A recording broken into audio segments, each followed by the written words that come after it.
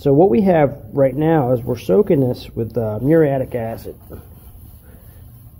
And uh, and so what we're doing is we're letting the muriatic acid sit on the surface. And it is etching into the base metal and, it brought it down to uh, the bare metal and that's what we want.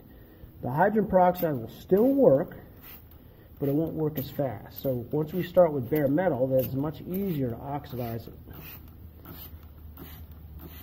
And that is all you got to do. Come back and do a couple coats in about 15 minutes. Let it sit. And I'm going to let this sit overnight for the customer. And uh, it should have a nice light finish. And I'll enclose a video, a, a picture of the, the last sign we did and show you, you know, kind of, the process is actually kind of pleasant to do.